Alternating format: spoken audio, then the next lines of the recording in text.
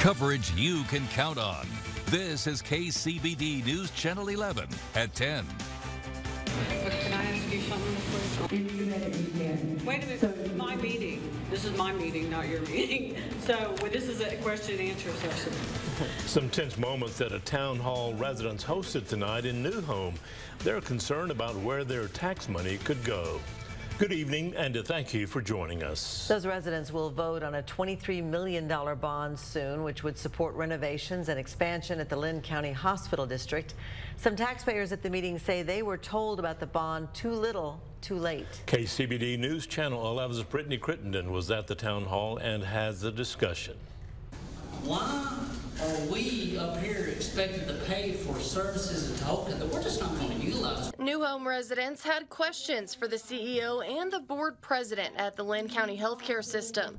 Its hospital district is asking voters to pass a $23 million bond to build a new ER, a fast track clinic, and pay for renovations throughout the hospital in Tahoka. Several mentioned that instead of driving to Tahoka for medical care, many drive into Lubbock.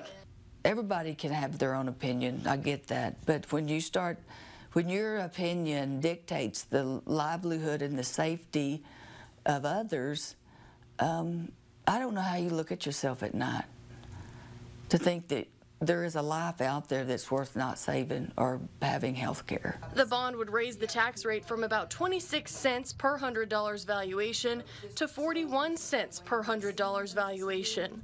While there were rumors that some residents wanted to create a petition to see the district dissolve, Randy Brackett says that's not what she wants. you know, obviously, like we want health care, and you know, Lynn County's position is health care closer to home. That's not the, that's not the, anything that anybody's against.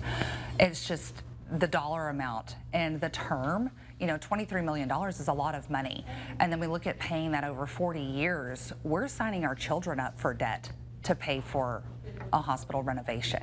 The hospital was built in 1971, and CEO Melanie Richburg says it needs electrical and plumbing upgrades. She says the majority of rooms are double occupancy, but the bond money could help change that. We are going to have to do something to this hospital if we're going to continue to operate it. Resident Rudy Ritz says he didn't hear about the bond election until it was too late. You know, I consider myself to be very informed as a voter, whether it's on the local level or up to the federal level.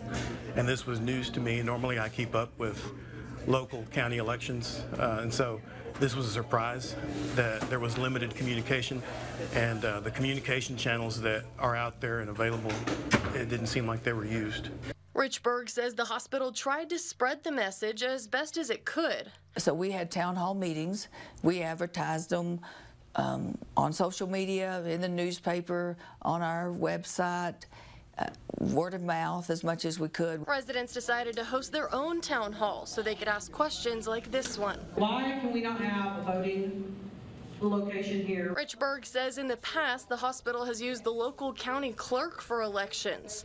This year they asked her for advice and she told them she's been having trouble finding workers in outlying towns in the county.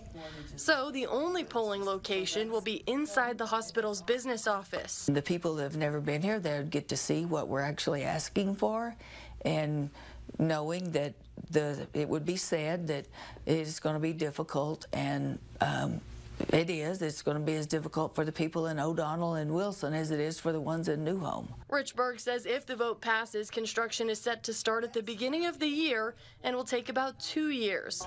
Early voting starts on the 22nd and election day is May 4th. Brittany Crittenden, KCBD News Channel 11.